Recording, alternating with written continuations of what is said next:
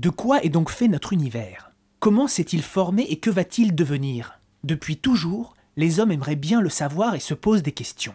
Alors, que savons-nous déjà? Nous savons que notre Soleil n'est qu'une étoile ordinaire parmi les milliards que compte notre galaxie, que celle-ci, la Voie lactée, est elle-même au milieu de milliards d'autres galaxies, composées comme elle d'étoiles, de gaz et probablement d'une matière inconnue, la matière noire. Et nous savons que tout cela s'est formé il y a des milliards d'années. Donc, comment en savoir davantage? Pour cela, il faut aller très loin dans l'espace. En effet, la lumière voyage à vitesse finie, soit 300 000 km par seconde.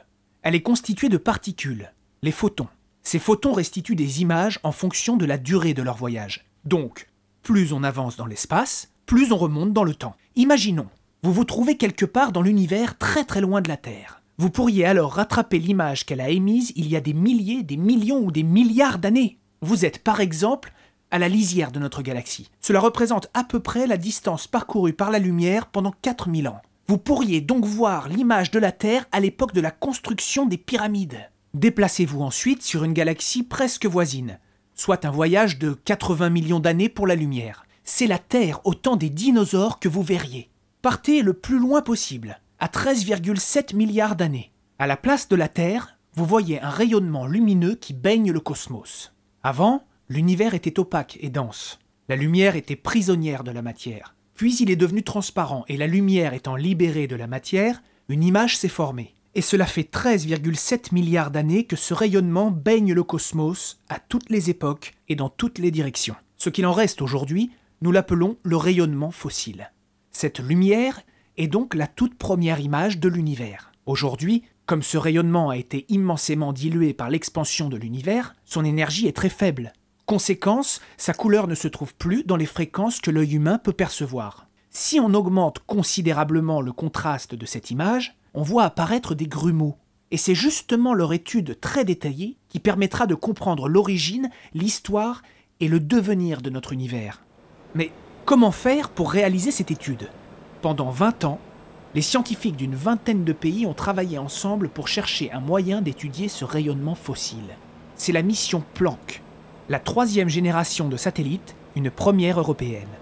Pour mener à bien cette mission, il fallait définir une méthode de mesure, concevoir des instruments, les construire et les exploiter, faire appel à des techniques innovantes et à de nombreux corps de métier et enfin analyser et interpréter les données recueillies. C'est ainsi qu'est né le satellite Planck. Pour percer les mystères du rayonnement fossile, le satellite Planck est équipé de détecteurs d'une sensibilité extrême. Ces détecteurs sont capables de déceler des changements de température de l'ordre du millionième de degré. Par analogie, ce serait comme détecter une variation de hauteur de l'épaisseur de quelques cheveux sur les 324 mètres de la tour Eiffel. Mais pour atteindre cette précision, Planck a besoin d'un silence parfait électronique, mécanique et surtout thermique. Alors, pour obtenir ces conditions optimales, les détecteurs de l'instrument haute fréquence HFI ont dû être refroidis à la température extrême de 0,1 degré au-dessus du zéro absolu, soit moins 273,05 degrés. Pendant près de 1000 jours, Planck a été l'objet le plus froid envoyé dans l'espace. Lancé le 14 mai 2009 à 15h12, temps universel par la fusée Ariane 5 depuis le port spatial de Kourou, le satellite Planck a été positionné à 1,5 million de kilomètres de la Terre. Alors, en quoi consistait le travail de Planck? Son travail consistait à cartographier le ciel, dans les bonnes couleurs, par une observation en fine bande en tournant sur lui-même. Comme il suivait le mouvement de la Terre autour du Soleil, il lui fallait six mois pour balayer la quasi-totalité du ciel. Chaque jour, il a transmis au laboratoire terrestre plus d'un milliard de mesures. Le ciel vu par Planck est comme un paysage. Il faut enlever ce qui est juste devant nous, notre galaxie, et ce qui est plus loin, les autres galaxies. Alors, il reste la première lumière de l'univers. De cette image, les chercheurs extraient des paramètres pour reconstituer toute l'histoire de notre univers, comme dans cette simulation. Ils essaient ainsi de répondre à des questions telles que de quelle sorte de matière et d'énergie l'univers est-il fait? Quand et comment se sont formées les premières étoiles et galaxies? Quels sont l'âge et la forme de l'univers?